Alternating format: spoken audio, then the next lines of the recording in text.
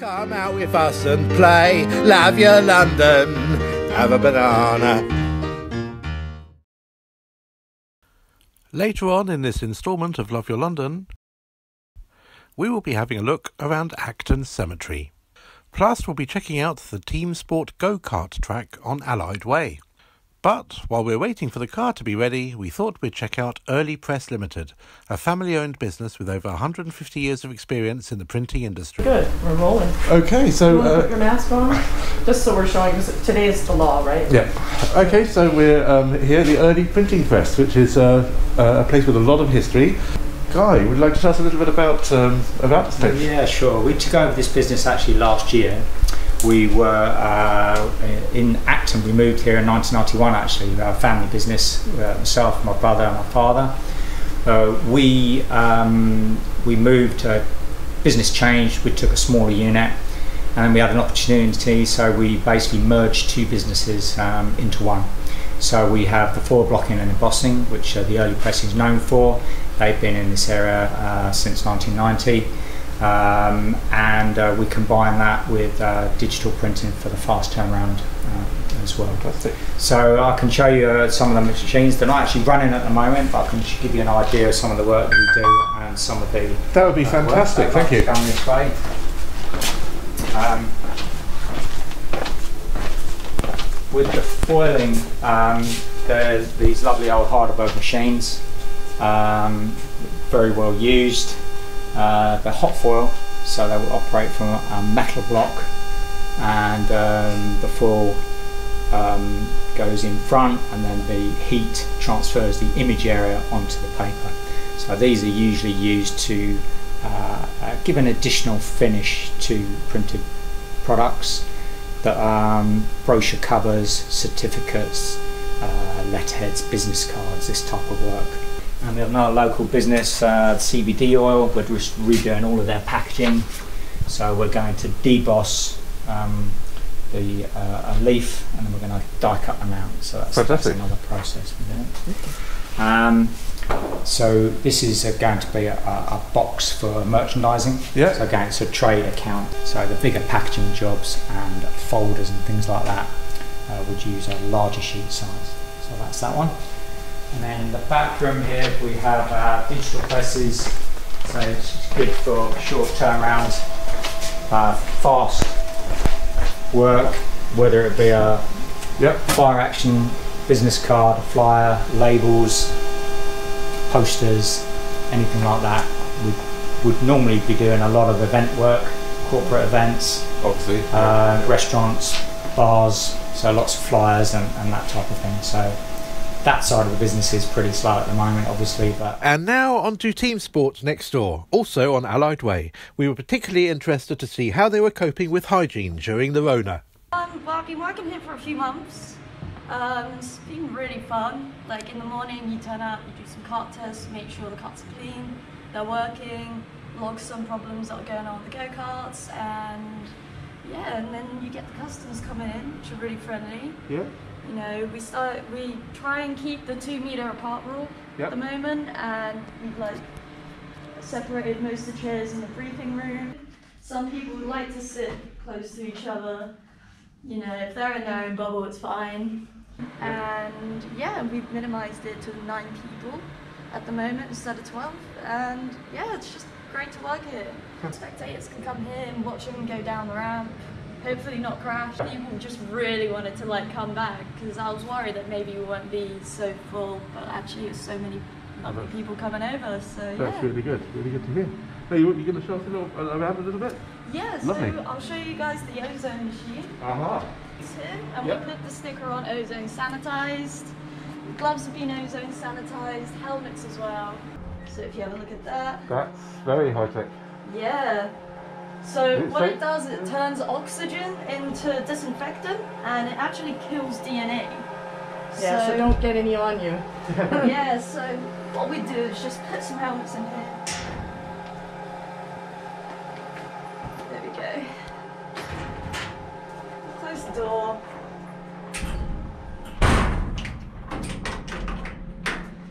Put it on the program settings, if you want, and then we start it. And I take it this you didn't have this machine before the pandemic, so this is something Yeah. that you've had to invest in. Oh, geez. That's like a dog whistle. Yeah. yeah, we, we had to invest into it recently, but honestly, like, don't It's see why we couldn't have it. It's, And like, it's good it's very practice, I useful. suppose. It's good practice anyway, because even if uh, even after this um, pandemic goes away, there's always going to be other illnesses, and that way, And so much easier than the dry cleaner. yeah. Yeah, exactly. Yeah, and especially with people using helmets being Yeah. reused, like it's really, really good. I think they've been bought, bought, so That's they'll great. be here forever. But yeah, you can't open the machine until it's done sanitizing That's as well. The only way I know you can emergency stop it is by getting the app and connecting to the Wi-Fi. Yeah. Fantastic. All right. We'd like to stress how very impressed we were with our experience at Team Sport. The company has taken its customers' health extremely seriously, and we hope that the ozone machines stay in place after this madness is all over. On the Rona meter, Love Your London awards Team Sport Acton five Ronettes, the best mark possible. So unfortunately, we can't, you know, No, put your things on a locker. no, Due to COVID. But uh, yeah, that's why people will get changed. Hopefully, they don't get naked. They just, you know, put the suit on over their clothes. Yep. There's always mistakes happening every now and then. Hence the ozone machine. Thank you for choosing Team Sport today. Have fun, and I hope to see you again soon. He makes this stuff look good. Take your glasses. Yeah. Okay, can't see without them. You're gonna put them back on. He's gonna be sweating like a farm animal in that thing. oh boy. That's yeah, it's a good thing there's no one else out there with you, Tristan.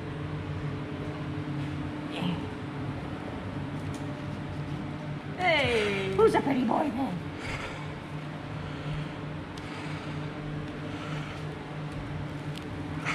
Nuh-uh. How's that?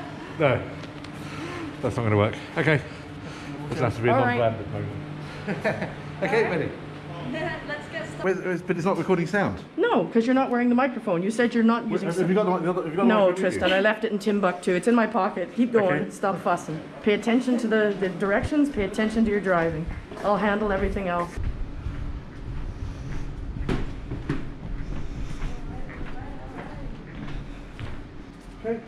I'll take. Yeah, yeah. Just make sure the camera's facing really nice and straight. Into a car.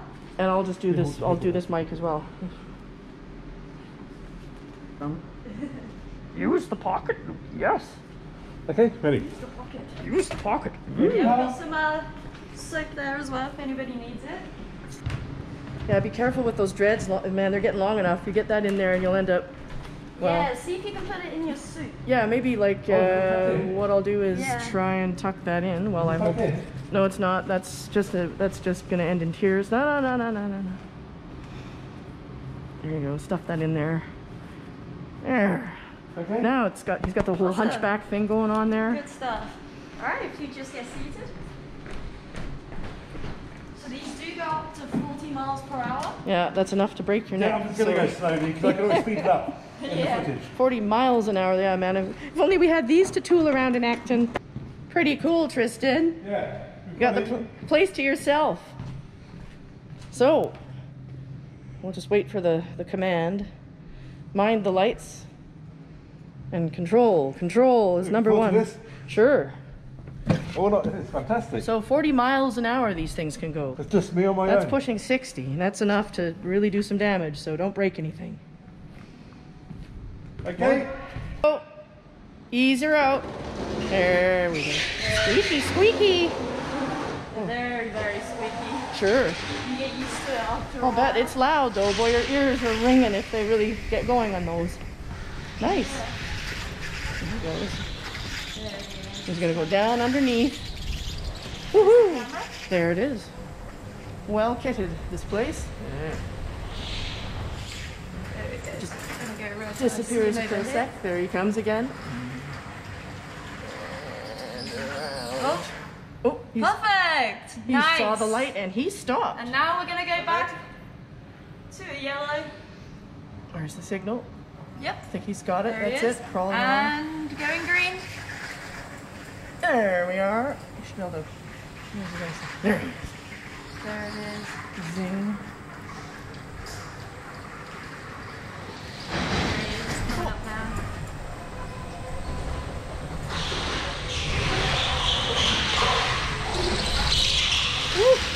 Right. Look at him go. Yeah.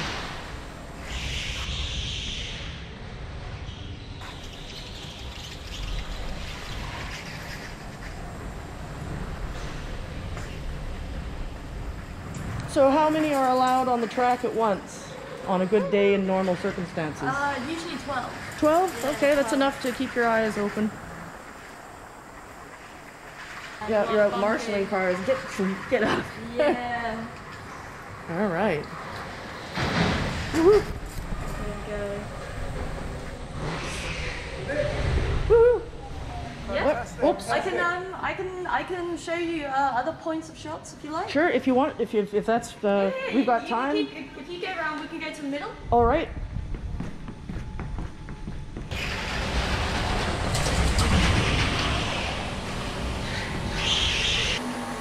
Where'd he go? There it comes. All right. Woohoo! Yay! All right. One more place he comes down now. Sure. Dun, dun, dun, dun, dun. Look at stuff, it? Well, you. Yeah. Today we're stuff. Yep, that's it.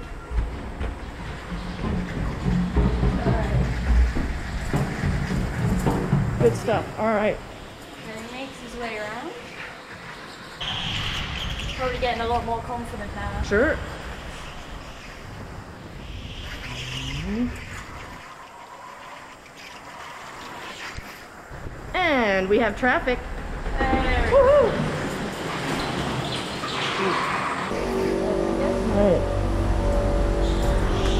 Just in time. All right.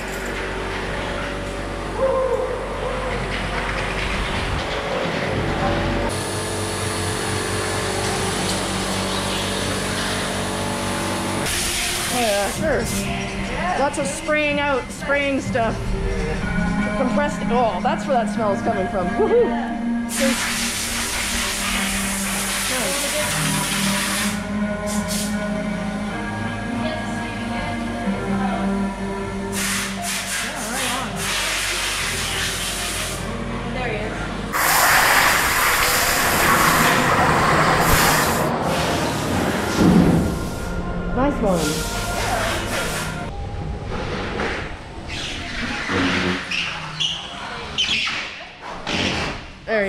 Nicely done. Pedals. And you can get up. That's it. There you go.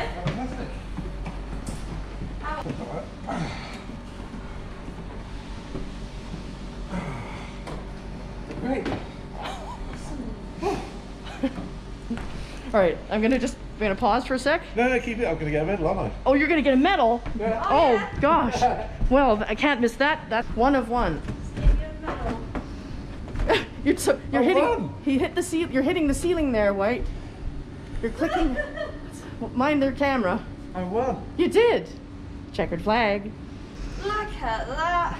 You oh. wanna go? How how are we gonna do this? Well, that's. Like That's that? fine. That's fine. Oh, it won't go on the helmet. We need the helmet off. Oh, okay. Hey, where's the champagne? We'll have that after he's driven. There's no more driving today, so. There we go. We got our winner. Hey, Woohoo! look at that. Too easy. Oh. What was my fastest lap? Did it say? Uh, I wasn't really racing too I fast. think it was 27 Okay. Okay, let's uh. seconds. What's the um, is that, is that average? See if it'll come up. It was quite good considering these ones were like 34. Best lap times 36. Yeah, so you did good. Great. Yeah. Fantastic. Thank you. Okay, so this is uh, North Acton Cemetery, or or uh, Acton Cemetery for short. Uh, these are the Park Royal gates.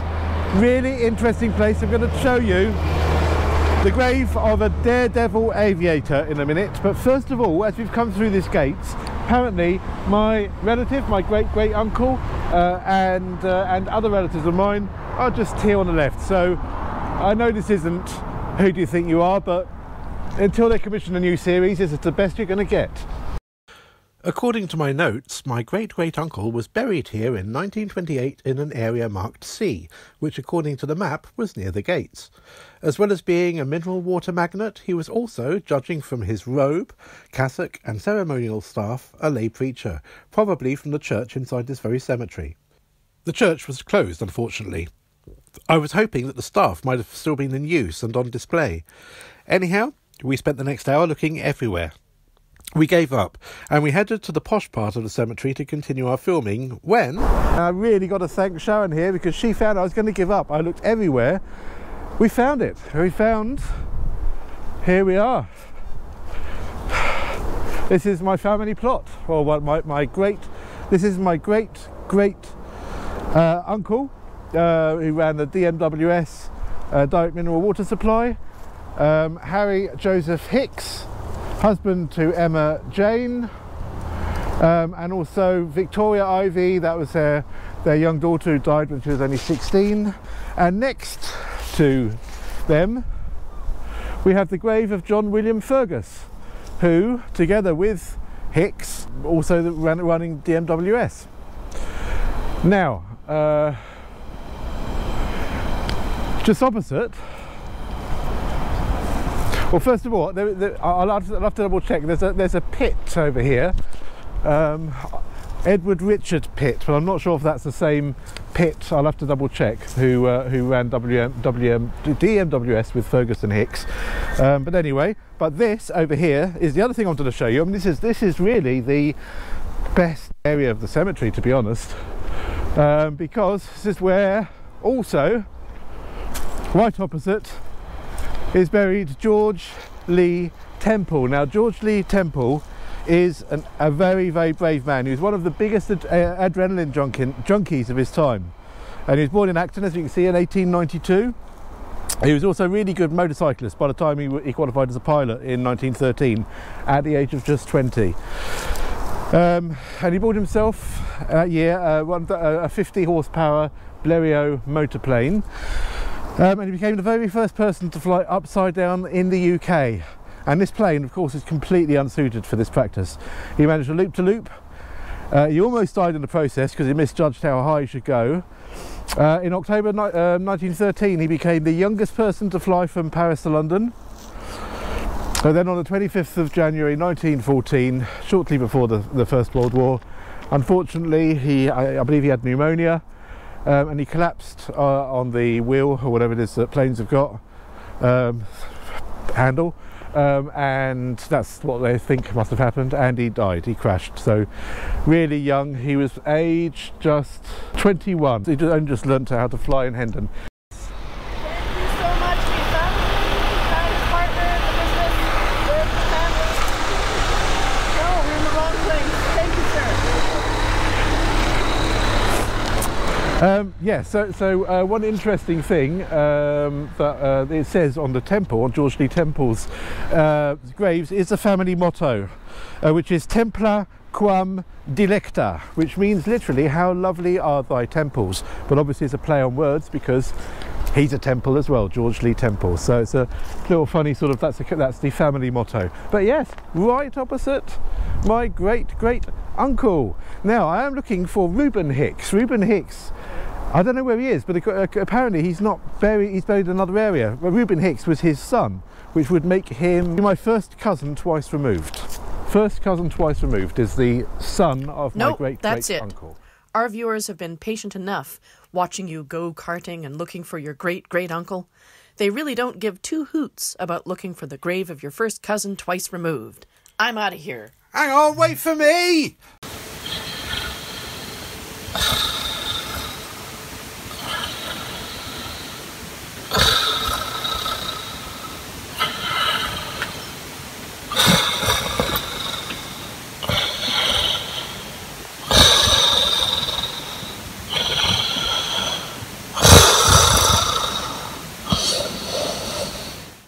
In the next and final instalment about Acton, we'll be checking out where another musical legend spent his school years. Reach out and touch faith. We'll be talking about Wormwood Scrubs, discovering a treasure trove, and much, much more. See See you then. From Acton Town to Wimbledon, from Brixton to beyond. Love your London. Have a banana.